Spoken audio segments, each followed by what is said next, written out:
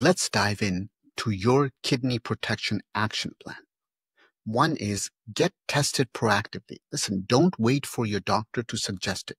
At your next appointment, request both EGFR, which is a blood test, and the urine albumin creatinine ratio urine test if you have any of the risk factors. Many people assume that these are included in routine blood work. They are often not unless you ask. Number two is know your numbers. Learn your kidney numbers like you know your blood pressure or cholesterol.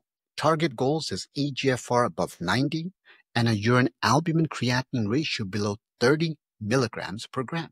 Write them down, track them over time.